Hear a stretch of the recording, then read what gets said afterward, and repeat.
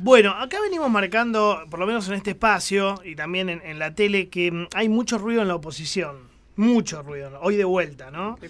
Vidal contra Milei, Macri contra Larreta, Iglesias contra Morales. Hoy Patricia Bullrich eh, se enojó porque Juntos por el Cambio este, le cerró la puerta a Milei.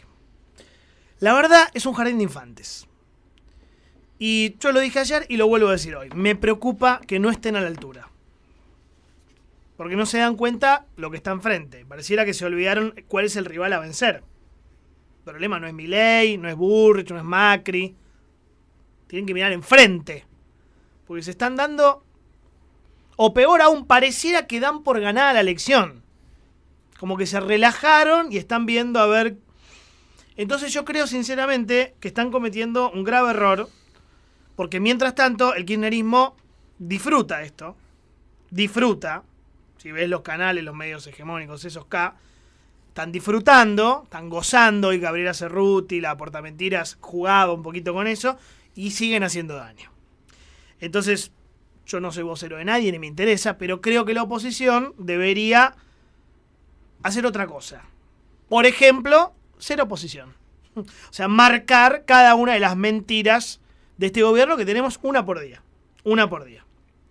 Por ejemplo, yo te voy a hacer escuchar 10 mentiras.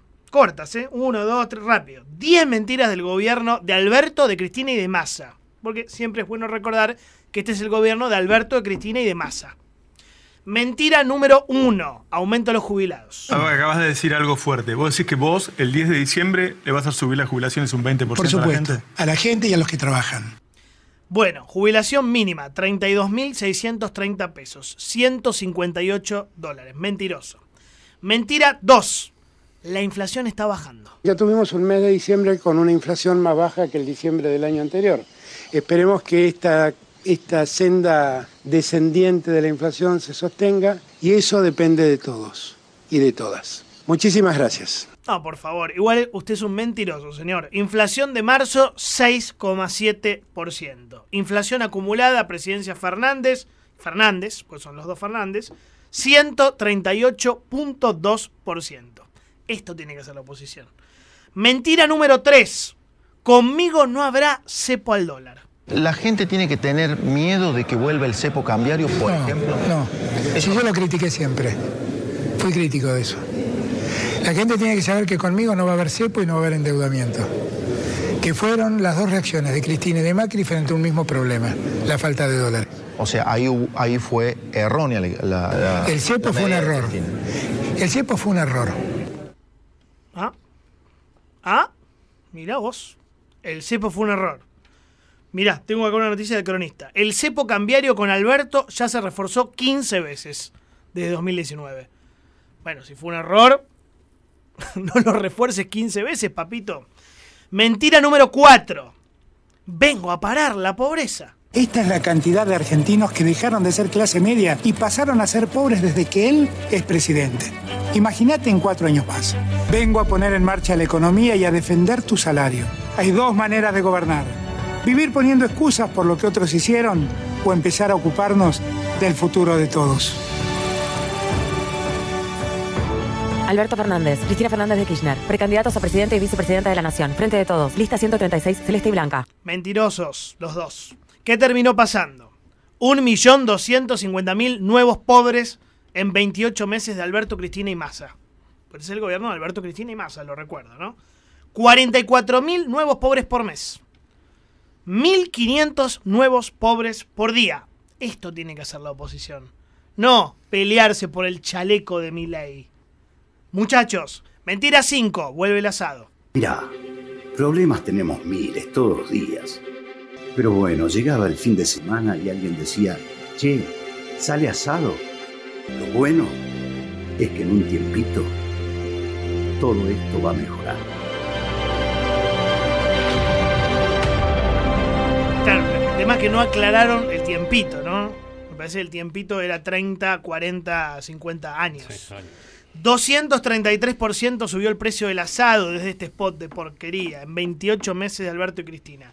Diario La Capital de Rosario. El consumo de carne vacuna en la Argentina no deja de caer. 47.7 kilos anuales por persona. Mentirosos. Son unos mentirosos. Una no cumplieron, ¿eh? Una. Una. Mentira 6. Prefiero 10% más de pobres y no 100.000 muertos en la Argentina. Pues yo prefiero tener 10% más de pobres y no eh, 100.000 muertos en Argentina. A ver. 128.500 muertos por COVID en la Argentina. Puesto 14 en el ranking mundial de países con más muertos por COVID. Creo que hay 192 países en el mundo, ¿no? Según la ONU. Bueno, de esos 192, nosotros estamos en el puesto 14. 14 casi top 10. Casi top 10. Pero tenemos ministerio, ¿no?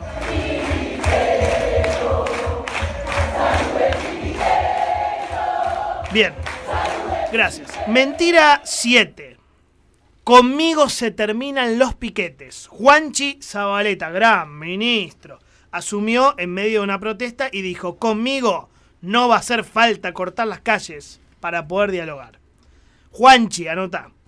Marzo 2022, 813 piquetes en todo el país. Datos, ¿viste? No te puedes pelear con los datos, Juanchi.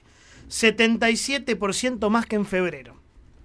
Tenés más piquetes vos que el anterior, que creo que se llamaba Arroyo, ¿no? Así que la oposición tiene que hacer esto. Mentira 8.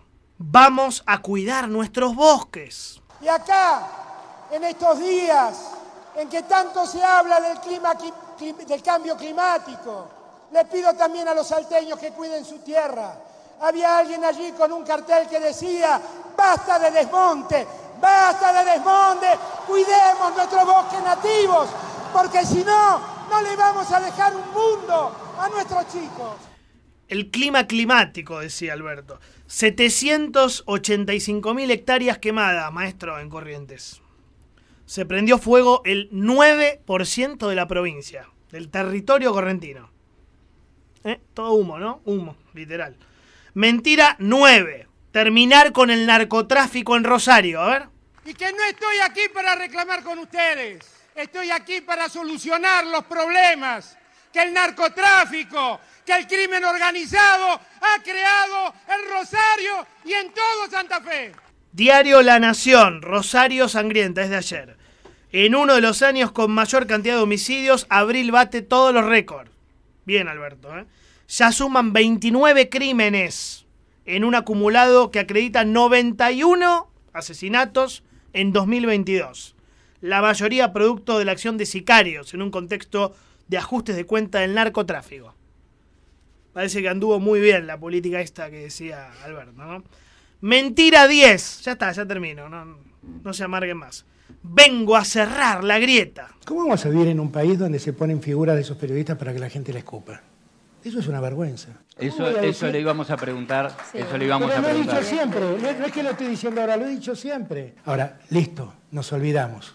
Punto, eso no puede volver a pasar entre nosotros. No puede volver a pasar entre nosotros. Y punto, digo, no es algo que tenemos que discutir más, nos tiene que avergonzar que nos haya pasado eso. Nos tiene que dar vergüenza que eso haya pasado. Bueno, ¿sabes qué terminó pasando, Alberto? Santiago Cafiero le dijo a la nata cabeza de pene.